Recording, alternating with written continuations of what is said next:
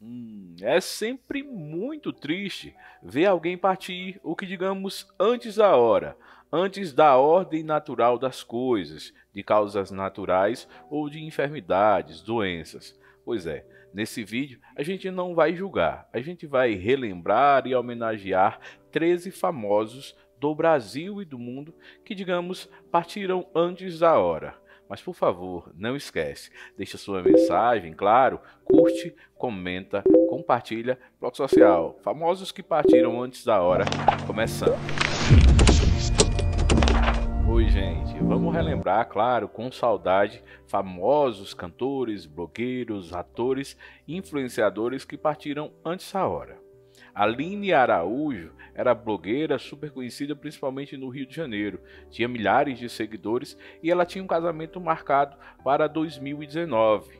Na véspera do casamento, o noivo desistiu de casar e ela acabou casando consigo mesmo. Mas um dia depois da cerimônia, Aline foi encontrada sem vida. Ela tirou a própria vida e até hoje essa história comove muita gente. Aline partiu aos 24 anos de idade, super jovem, com uma vida inteira pela frente. Que pena.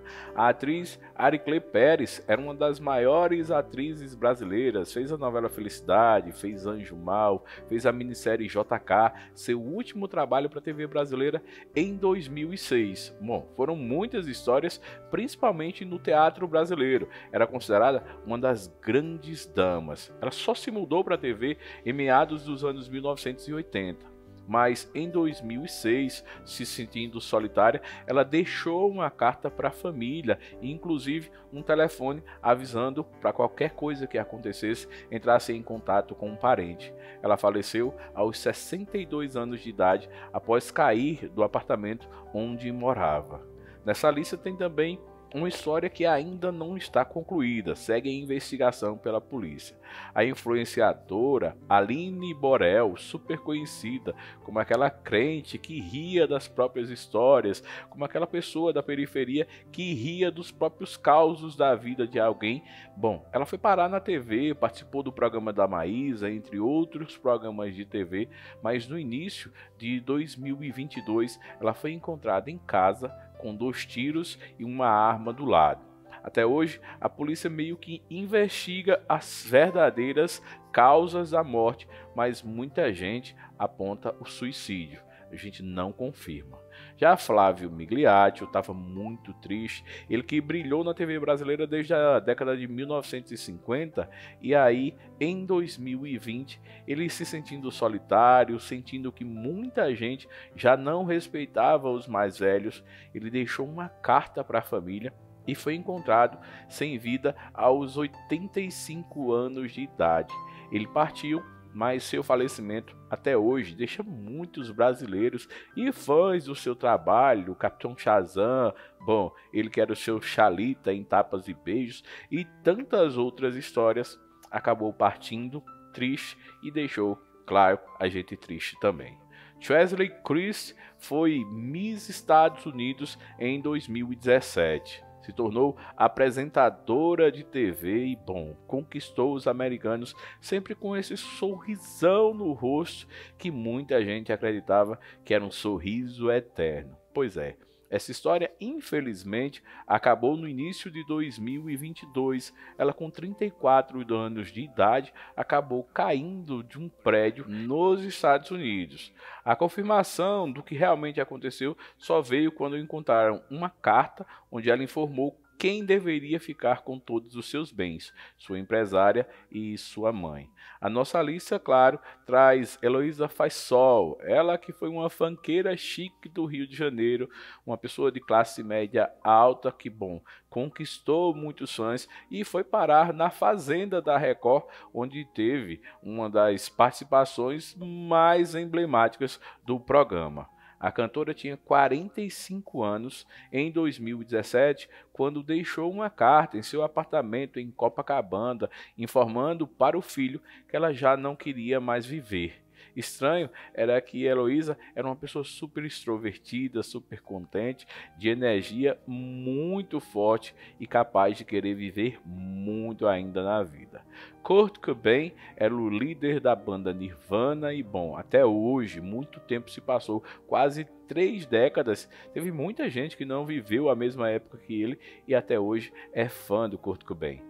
Ele tentou a morte várias vezes e somente em abril de 1994 ele conseguiu, com um rifle em casa, foi encontrado sem vida pelo pintor do seu apartamento. Ele tinha 27 anos e segue como uma das celebridades que tem a história para contar. Faleceram aos 27 anos de idade. Ele era com certeza um dos maiores músicos da história do rock mundial. Leila Lopes foi uma grande atriz brasileira, fez a novela Felicidade, a novela Renascer, brilhou na Manchete, na Globo e em outros canais, veredou, acabou fazendo filmes adultos um pouco arrependida, já fazia muito tempo que ela não atuava em novelas, quando em 2009 ela deixou uma carta que até hoje é super lida na internet e nos deixou aos 50 anos de idade. Muita gente até hoje lamenta. Se Leila estivesse conosco, já estaria com mais de 60 anos e quem sabe teria feito várias outras novelas linda como sempre foi. Tem também Marilyn Monroe, que é considerada um dos maiores símbolos sexuais da história do mundo e também da história do cinema. Pois é, aquela história cheia de idas e vindas com talvez namoro com um presidente dos Estados Unidos no início dos anos 1960 sacode os Estados Unidos e Hollywood até hoje. Um dos quadros dela, com a imagem dela, é um dos mais caros da história. Marilyn foi encontrada morta em 1962 aos 36 anos. Porém, a morte até hoje ninguém sabe dizer. Será que ela se matou ou será que alguém acabou causando a morte da atriz? Já o influenciador, policial e também homem trans Paulo Vaz deixou a internet brasileira mais triste no início de 2022, quando num domingo ele foi encontrado sem vida. Naquele dia sacudiu a internet e muita gente queria saber qual a causa da morte do Paulo Vaz. Até hoje não ficou bem clara, não está explicitamente divulgada. Porém, saúde mental foi uma das causas mais comentadas quando Paulo Vaz nos deixou. Ele tinha 36 anos de idade, super seguido nas redes sociais e até hoje homenageado por muitas pessoas que gostavam muito dele. Robin Williams foi um grande ator, humorista, comediante norte-americano e também brilhou no cinema com vários filmes que com certeza você lembra.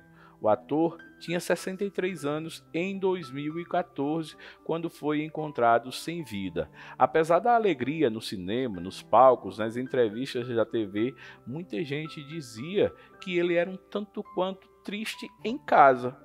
E aí, um dia solitário, um dia depois, foi encontrado sem vida. Mas claro, tem muitos filmes do Robin Williams para a gente relembrar esse talentoso ator, humorista e comediante.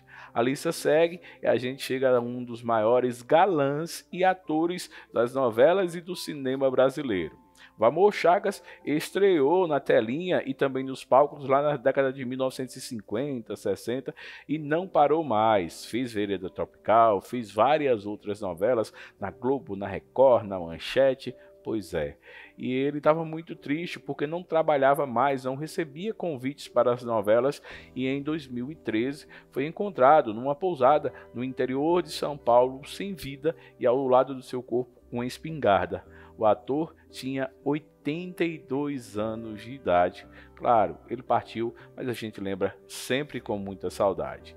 Yasmin Gabriele foi uma cantora mirim que começou cedinho na TV brasileira no programa Raul Gil. Claro, muita gente lembra dela. Sempre esperta, brincalhona, muito bonita, tinha muito talento para dar e vender mas muita gente comentava que a atriz e cantora andava muito triste depois da partida da sua mãe e também do seu irmão. Pois é, ela acabou sendo encontrada sem vida num domingo, final de ano de 2019, aos 17 anos de idade. Claro, e a gente ficou aqui muito triste com essa partida. E aí, gostou do vídeo? Não esquece, curte, comenta, compartilha. Eles deixaram muita saudade? Eu acho que sim. Que descansem em paz. Curte, comenta, Bloco Social, um beijão. Tchau, tchau.